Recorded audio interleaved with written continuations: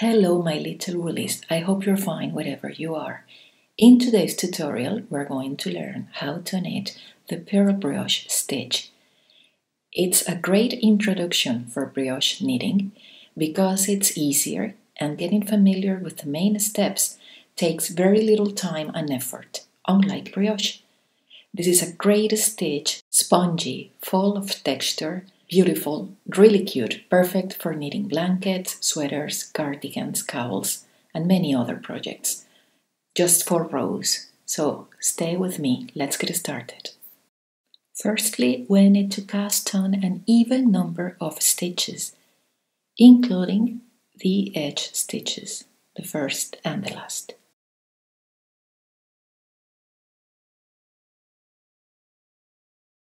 Remember, you will find the written instructions on my website, sowoolly.net. There is a link for you below this video on the description box. First row, wrong side of the work. We're going to slip the first, always knitwise, and now comes the repeat. Yarn over, slip one purlwise, knit one.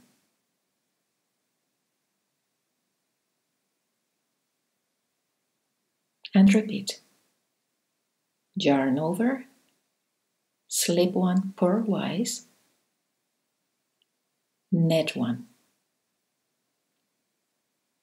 Again, yarn over, slip one purlwise, knit one.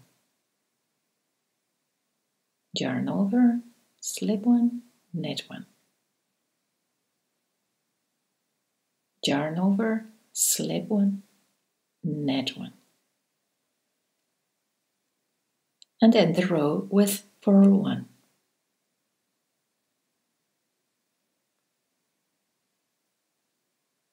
Second row, right side of the work. Slip the first knitwise and now comes the repeat. Knit one, knit two together, the yarn over and the next one together. Knit one,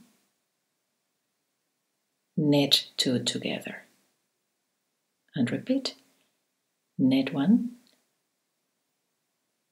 knit two together. Knit one, knit two together. Knit one, knit two together, and purl the last one.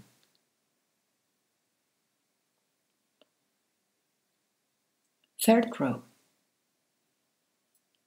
Slip the first knitwise, knit one, and now comes the repeat. Yarn over, slip one purlwise, knit the next, and repeat. Yarn over, slip one purlwise, knit. Yarn over, slip, knit.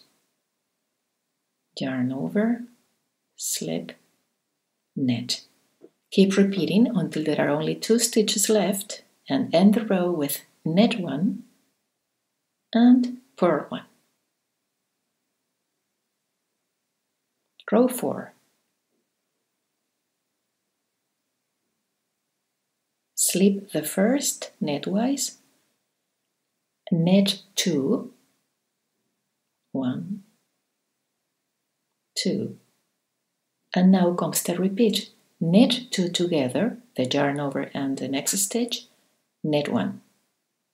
Again, knit two together, knit one. Knit two together, knit one. Knit two together, knit one. And purl the last.